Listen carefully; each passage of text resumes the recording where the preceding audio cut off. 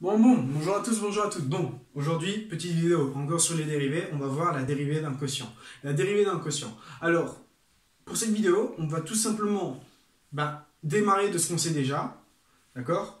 Pour finir ben, à ce qu'on cherche, d'accord? Bon, qu'est-ce qu'on sait déjà? On sait déjà que ben, la dérivée d'un produit, UV', c'est la dérivée de U multiplié par V plus U multiplié par la dérivée de V, d'accord?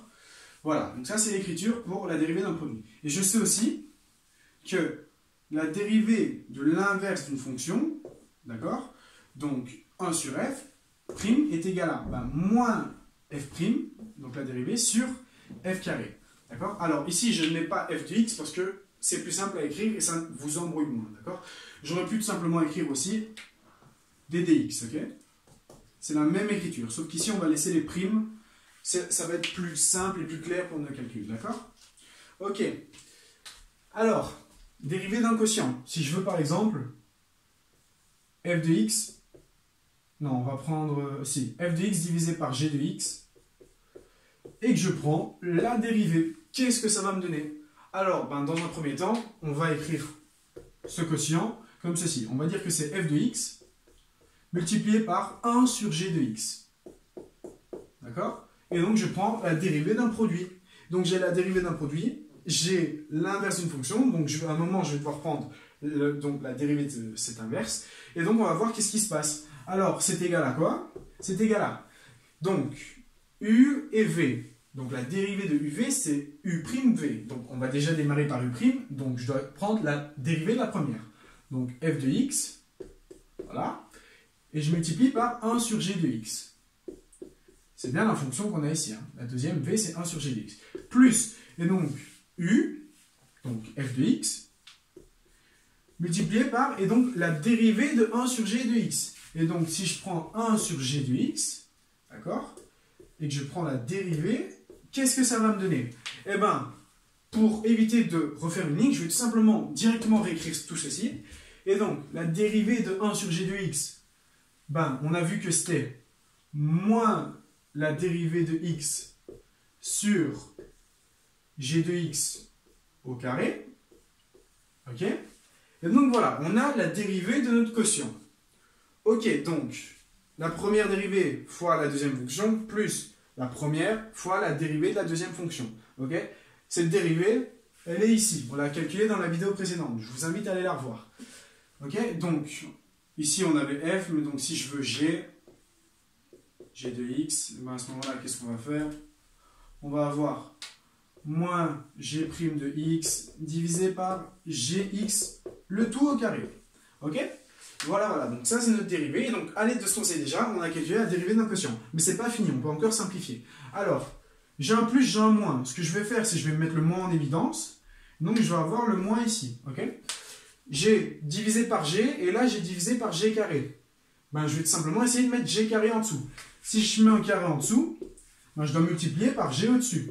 D'accord? Comme ça, mon égalité reste la même. Et donc, j'ai que la dérivée de mon quotient, ça va être le tout sur... Je vais rendre la place ou pas? Le tout sur g de x au carré. Ok? Hein? On a bien le même dénominateur. Et au-dessus, avoir On va avoir f' de x multiplié par g de x moins f de x multiplié par g' de x.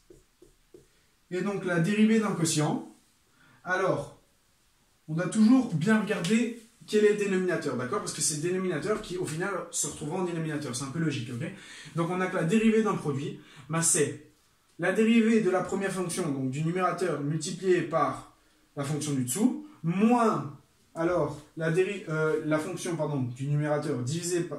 Oh Pardon, je recommence. Donc, la dérivée d'un quotient, ben, c'est la dérivée du numérateur fois le dénominateur, moins le numérateur fois la dérivée du dénominateur, divisé par le dénominateur au carré.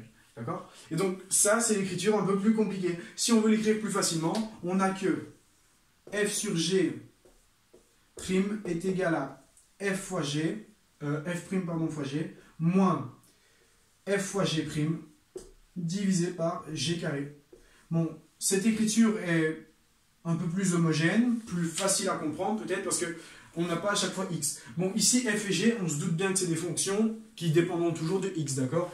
Donc au lieu d'écrire tout le temps f de x, g de x et de ça, j'ai juste écrit f et g. Donc, avec ce qu'on savait déjà, la dérivée d'un produit, la dérivée de l'inverse d'une fonction, on met tout ça là-dedans, à l'aide de ce qu'on sait déjà. Hein. Donc, f de x sur g de x, ben, c'est f de x fois 1 sur g de x. Je prends mes dérivés, d'accord Ici, j'avais g de x, ben, je le mets au carré pour avoir le même dénominateur. À ce moment-là, il manque un g de x au-dessus. Et j'obtiens cette biggest formule tout en dessous. Donc, si à revenir de cette vidéo, pas, pas, pas, voilà. Et donc, une autre manière de l'écrire, c'est ceci.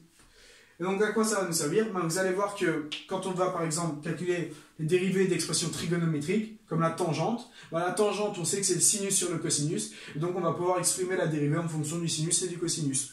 Vous allez voir, c'est très simple. Bon, voilà, voilà. Je vous remercie de votre attention. Je pense qu'on a à peu près tout fait sur le chapitre des dérivés en théorie, d'accord? Ce qu'on va faire maintenant, c'est peut-être deux, trois petits exercices pour vous entraîner, d'accord? Ou alors peut-être avant faire... Non, je vais faire des mises au point sur des notions que vous ne possédez pas. Voilà, voilà, bref. Je vous remercie de votre attention et je vous dis à très bientôt pour de nouvelles vidéos stylées, on va dire.